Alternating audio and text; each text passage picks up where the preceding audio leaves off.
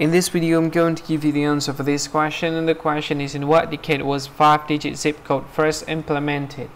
Well, now I'll give you a list of the options. First option is 1910s, second option is 1930s, the third option is 1960s, and the last option is 1980s.